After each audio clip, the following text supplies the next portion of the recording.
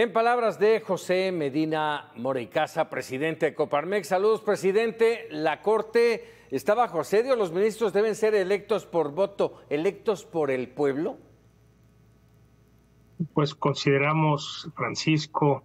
que así como los miembros del Poder Ejecutivo, tanto a nivel federal, el presidente, como los gobernadores, los estados y los presidentes municipales, está bien que sean electos por el voto popular, así como diputados y senadores y también los diputados locales. Sin embargo, en el caso del Poder Judicial requerimos esa competencia de los jueces de tal manera que sean eh, nombrados y en el caso de los ministros de la Suprema Corte de Justicia de la Nación que tienen precisamente la misión de velar porque ninguna ley pase por encima de la Constitución, pues el método actual eh, son propuestos por el presidente de la República en una terna, de donde el Senado se elige a quien sea ministro o ministra de la Corte. Reconocemos, eh, Francisco, el trabajo que hacen los ministros y ministras de la Corte, nos solidarizamos ante los ataques que han recibido y un, eh, un llamado a toda la población para respetar a los ministros y ministras de la Corte, para respetar la división de poderes, porque si queremos que avance la democracia, Francisco, es importante que haya esta división de poderes, porque es la que permite precisamente que haya esos contrapesos.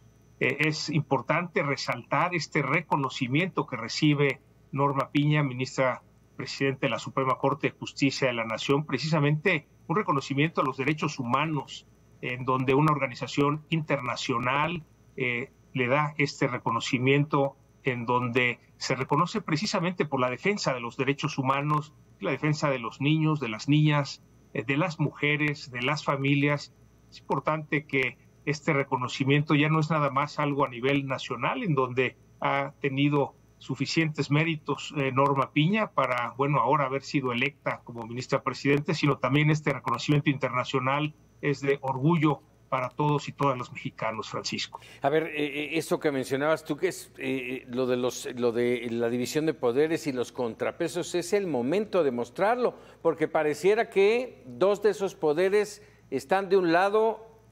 estoy hablando del Ejecutivo y el Legislativo, y que el Judicial está a merced de los ataques.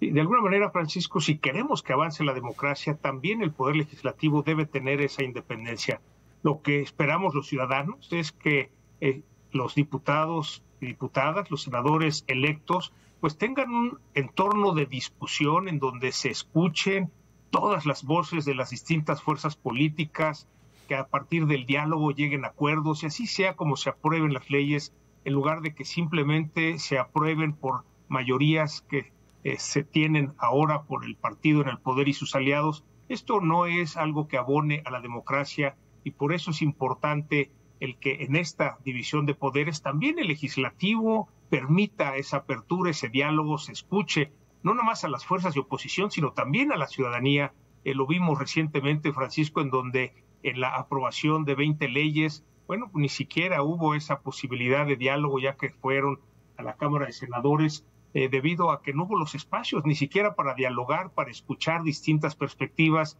Y esto no es lo que requerimos y por eso es importante la función de la Suprema Corte en este sentido de que al no seguir el debido proceso, bueno, por ejemplo, fue desechado la primera parte del Plan B. Ya veremos cuál sea la postura de los ministros y ministras con respecto a estas 20 leyes que se aprobaron sin el debido proceso, sin la discusión, sin escuchar a las fuerzas de oposición y sin escuchar a la ciudadanía, Francisco. En palabras de José Medina Mora, presidente de Coparmex. Presidente, muchas gracias.